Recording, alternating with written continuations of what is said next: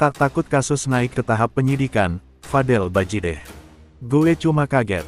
Fadel Bajideh bersikeras tidak bersalah atas tuduhan yang dilayangkan oleh Nikita Mirzani. Saat kasus ini resmi naik ke tahap penyidikan, Fadel mengaku terkejut karena ia merasa tidak ada bukti kuat yang bisa menjatuhkannya.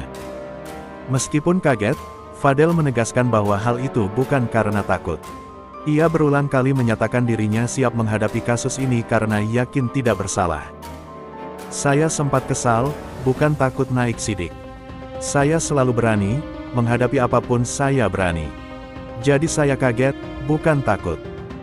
Kaget dan takut itu beda, ujar Fadel di Polda Metro Jaya, dalam kesempatan yang sama, Fadel juga mengungkapkan keinginannya agar Laura Meizani LM angkat bicara mengenai apa yang sebenarnya terjadi. Fadel merasa bingung karena LM masih berada di rumah aman, padahal Nikita Mirzani mengaku sudah berdamai dengan putrinya itu. LM itu anaknya NM, katanya sudah damai, tapi kok masih di safe house? Tanya Fadel.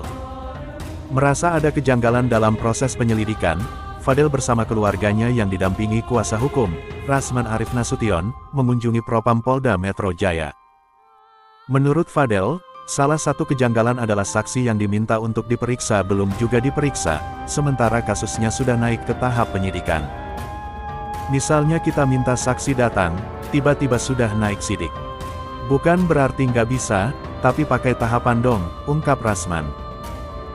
Rasman menjelaskan bahwa Fadel juga memberikan keterangannya kepada Propam terkait dugaan tindak asusila. Fadel memberikan penjelasan fakta yang ia alami. Kami akan kombinasikan dengan data yang ada dan mencocokkannya, jelas Rasman. Rasman juga menyoroti tindakan Nikita Mirzani yang terus membuat pernyataan di media untuk menyudutkan Fadel. Bahkan, Nikita begitu yakin bahwa Fadel akan masuk penjara.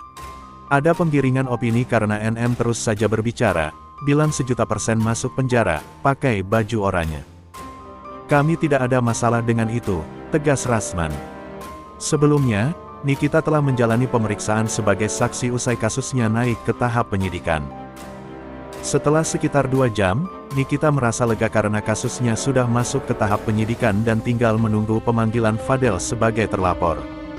Alhamdulillah lega, selesai, tidak ada BAP lagi. Tinggal menunggu terlapor dipanggil, ujar Nikita di Polres Jakarta Selatan, Rabu, tanggal 30 Oktober tahun 2024.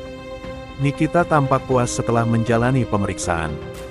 Ketika ditanya kemungkinan Fadel mengenakan baju oranye sebagai tersangka, Nikita dengan yakin menjawab, satu juta persen, sambil tersenyum.